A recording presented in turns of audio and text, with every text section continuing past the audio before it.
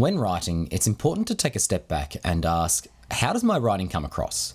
Is it formal? Casual? Do I sound interested in what I'm talking about? Do I sound bored? Do I sound happy, scared, excited?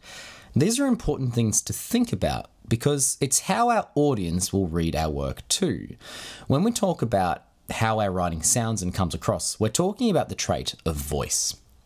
The kind of writing you're doing will impact the kind of voice you use, and might impact some of the other traits and how you use them. For example, when you're writing a speech, often you'll want to employ a more formal voice. This means that you're using formal word choice, and you might avoid using contractions like it's or that's, instead using it is or that is. If you're writing a letter to a friend, your voice will be more casual. You might use slang, and your sentences might be a bit more relaxed. When writing a story, you might want to think about how your characters sound. If you're writing from the perspective of a teenager, do they talk like a teenager? If you're writing from the perspective of a knight, do they talk like a knight would?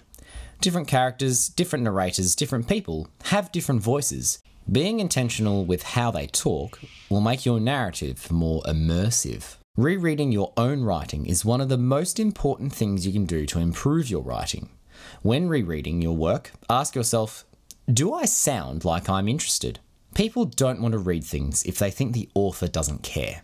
We can make little voice changes to make our writing more engaging.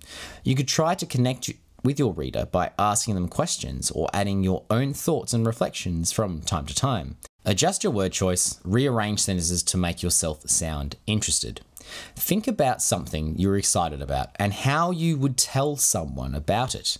Use that in your writing. You might ask questions to draw them in.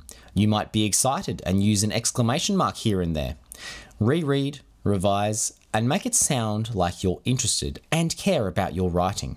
This is how voice can elevate your writing, make it more engaging, and make your reader want to read your work. Traits of writing 6 plus 1, it's what good writers!